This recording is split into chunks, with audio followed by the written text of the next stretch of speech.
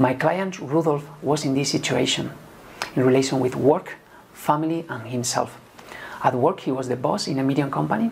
He didn't like his job. He couldn't inspire nor motivate the people, and he was doing it with a sense of duty. So he was obliged to work long hours to get the job done. That took the best of his energy, and the remaining of his time and energy he devoted to his family, especially to his daughter, which he loved. And he used to tell her, Please, darling, don't do like me. Do something in life that you enjoy, that you love.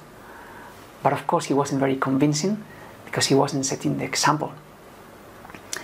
And he didn't have any time nor energy left for himself.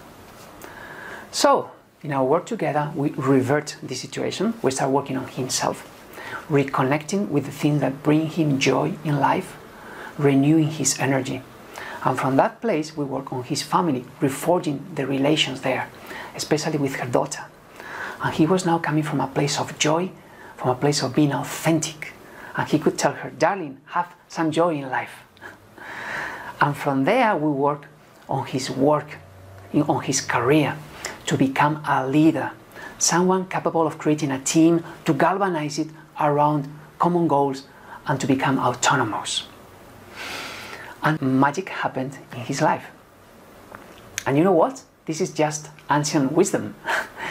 Confucius, who was mentor for kings, used to advise them exactly the same.